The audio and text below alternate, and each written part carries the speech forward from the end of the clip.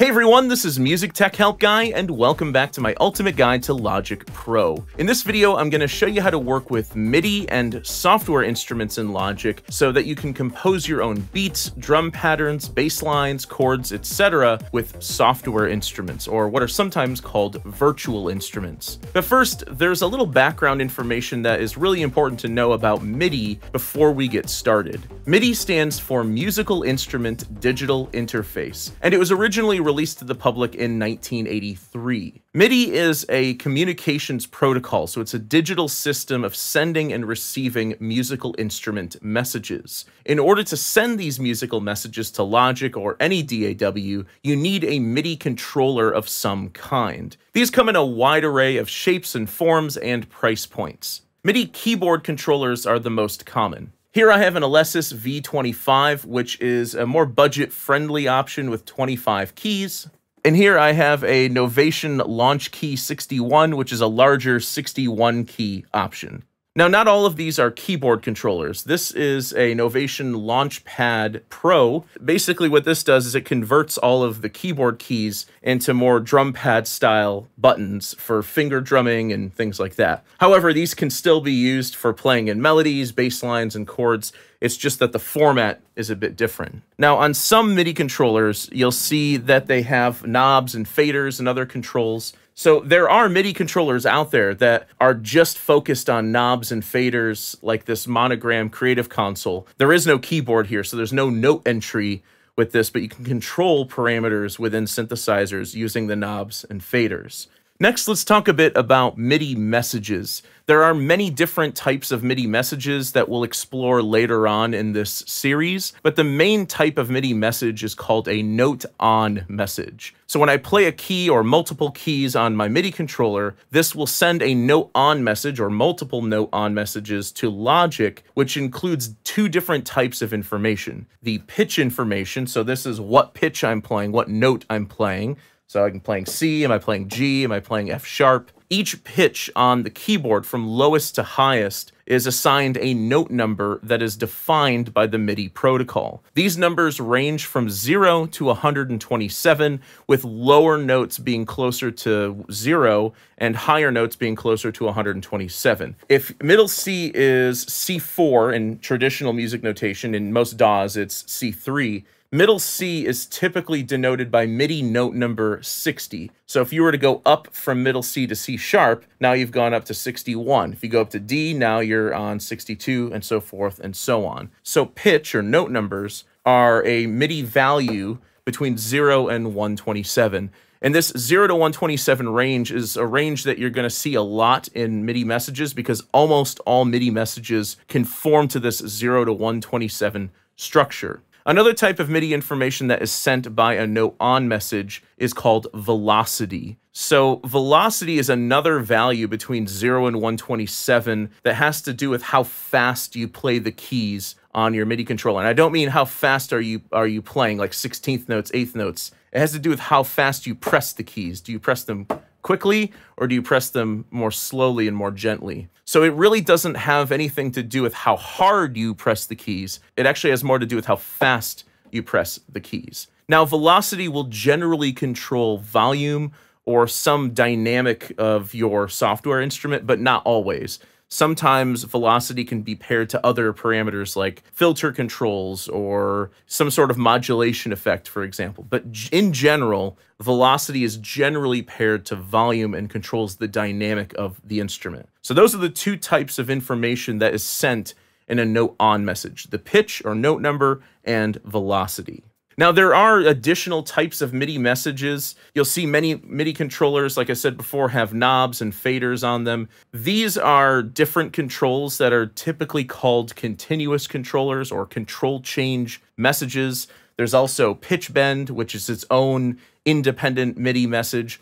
We'll come back to these types of MIDI messages later on in the series, but I just want you to be aware there are more types of MIDI messages than just note on messages. Now, most MIDI controllers are universal. You can just plug them in over USB and they will just work with Logic. However, some will require certain drivers to work, so check with your manufacturer for specific details on that. Now, if you don't have a MIDI controller, you can actually use your typing keyboard to enter MIDI notes in Logic as well. I'll show you how to do that as well when we jump into Logic in just a bit. But first, I want to tell you about the sponsor for this video that has helped me make this series possible, Boombox.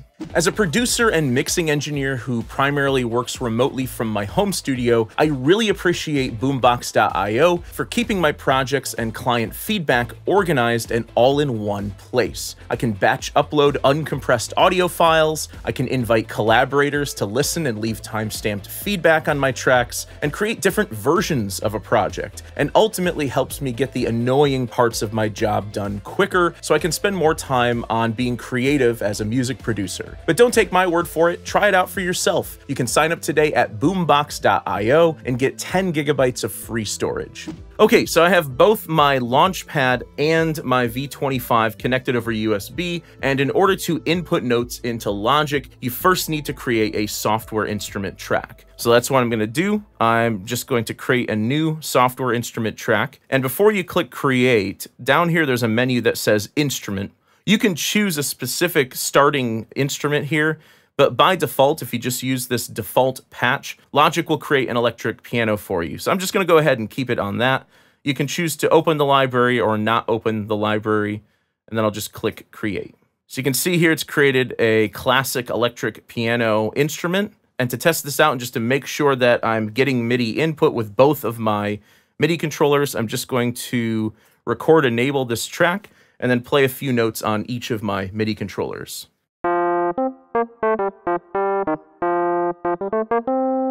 So that one's working. And then uh, my Launchpad.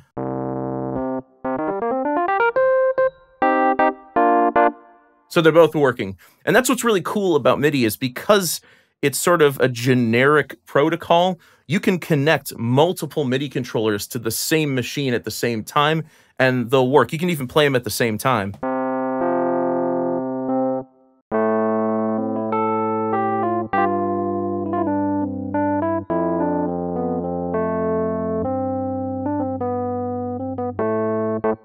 So they'll work together in tandem over USB. Now, before we get into recording anything, we want to set up Logic for recording to minimize latency. So what I'm going to do is go up to Logic Pro, Settings, and I'm going to go to Audio. And remember, this is Preferences if you're on an older version of Logic. And we're going to change the buffer size from this higher setting to a much lower setting. Now it's still showing I'm getting a ton of latency here. That's just because I'm running a screen capture software at the same time. Your latency should be much lower than what's showing here. And then just click apply to apply the lower buffer size. Now IO buffer is not quite as important with MIDI recordings as it is with audio recordings, but it does still have an effect on the latency while recording. So I like to keep this around 32 or 64 anytime I'm recording. Okay, so if you open up the library, remember you can open up the library by pressing Y on your keyboard. You can select any software instrument, and then you can select a new patch from the left here. So let's say maybe I want something else like some strings, like some synth strings. So I can go to synthesizer, then I'll go to strings, and then I'll choose one of these presets, and it'll load up a different preset.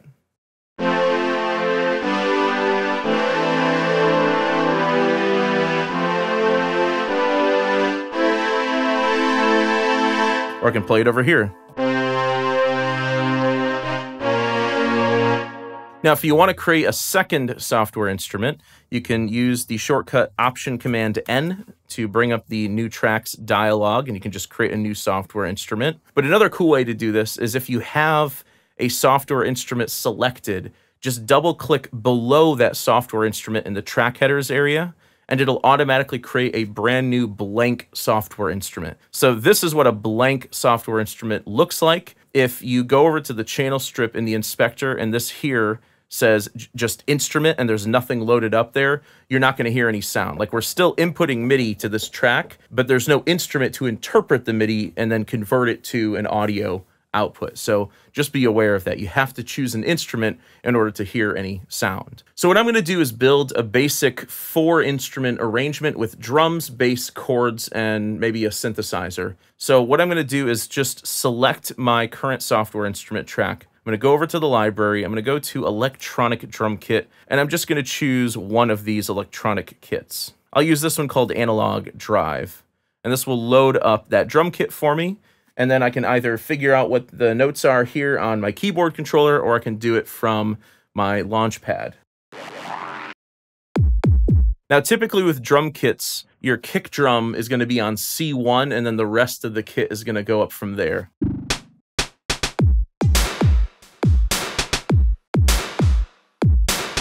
Okay, so I'm going to start with that, just kick and snare and a couple little, I don't know what those are, little side sticks or something. So I'm going to lower the tempo to, we'll say 108 BPM. I'm also going to go ahead and save my project, which is always a good idea. And what you want to do before you start recording is you want to make sure that your metronome is turned on. Um, you can do that by going up here. You can just click and hold on it and make sure that click while recording is turned on. So what that means is when you press play, you won't get a metronome. But if I press R on my keyboard to record, you'll get a metronome. You can choose to have the count off turned on or turned off. I'm going to go ahead and turn it off. So the recording will start right here at bar one. And I am not a fan of starting my recordings right on bar one. I typically start on bar two. I do this for a reason to make sure that no notes are cut off on that first beat, on that first bar. There is a way to fix that with MIDI. It's called MIDI Chase, but we'll talk about that in a future video. So I'm actually going to start my recording at bar two.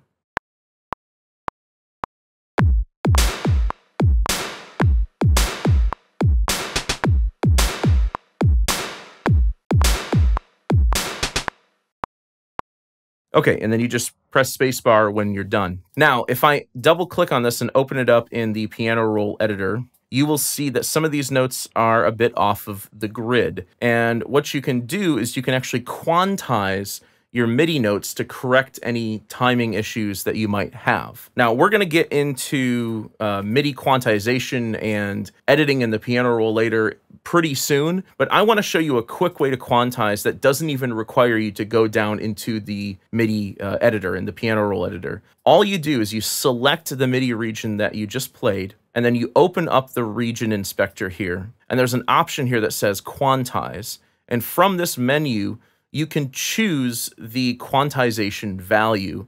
So the quantization value is going to be the fastest or quickest rhythmic value that you played in your musical idea. So for me, that was a 16th note in this specific example. So watch what happens. I'm going to open this up in Piano Roll just so you can see how this works. See how none of these are perfectly on the grid? If I select that region and then change the quantization to 16th note, all of those notes snap to the nearest 16th note on the grid. So now when I play this back, I should have just a perfectly in time drum beat.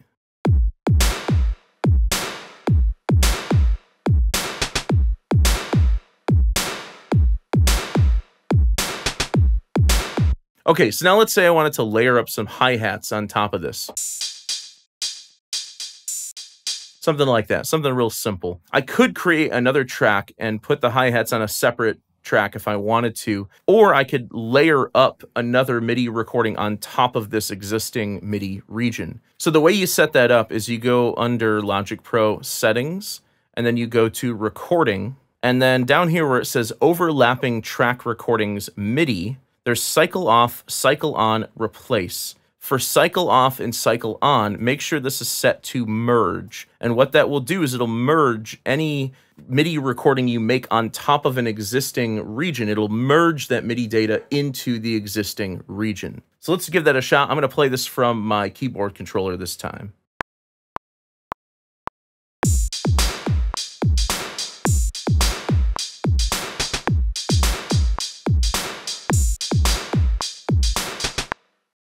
Okay, so I can go back into that MIDI region, and once again, we can see my hi-hats are a bit off, so I can just sort of re-quantize that MIDI data, and everything should, let's turn that off, and then go ahead and turn it back on, and there we go. So all the MIDI data is quantized to the nearest 16th note. So now I'm ready to add another instrument. Let's add some chords this time. So I'm going to go ahead and just double click below this track to create a new blank MIDI instrument. This time I'll go over here and select a synthesizer. Let's go with synth strings. And yeah, I'll use the authentic strings, the same ones I did before.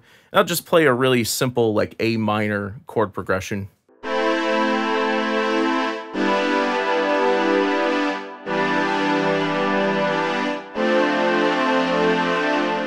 Now, if you don't have a MIDI controller, one, I recommend you get one at some point in the future. Two, there is a workaround. If you press Command K on your typing keyboard, this will bring up the musical typing keyboard. What this does is it converts your home row keys and some of the keys above the home row keys into a musical typing keyboard. So what you can do is you can play those corresponding notes on your typing keyboard.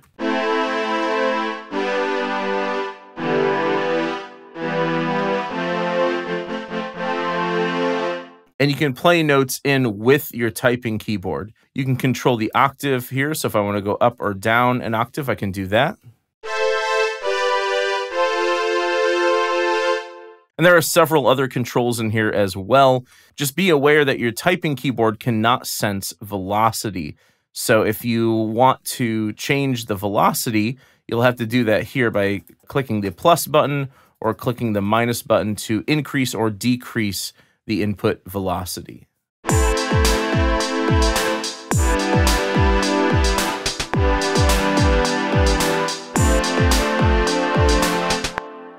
So those notes were much longer. Those were like more like whole notes.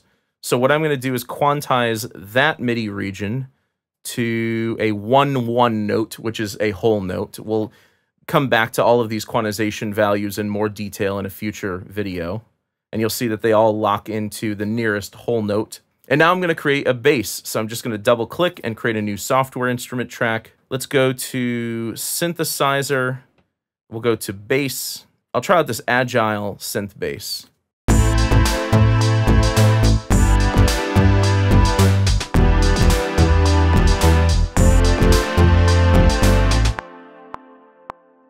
Okay, so once again, I can go ahead and quantize this MIDI data. I'm going to use a 16th note again. There we go. And then we are clipping, so let's go ahead and just pull down the level on all these tracks. Let's repeat this once. Remember, you can just drag over regions, hit Command R to repeat, and remember to set your cycle range around the selected regions. You can just drag over the regions and hit Command U. So now I can just loop these uh, 16 bars over and over if I like. But let's add one more instrument to this. I'm going to go into synthesizer, then I'll go to lead. And yeah, let's use the 70s analog lead.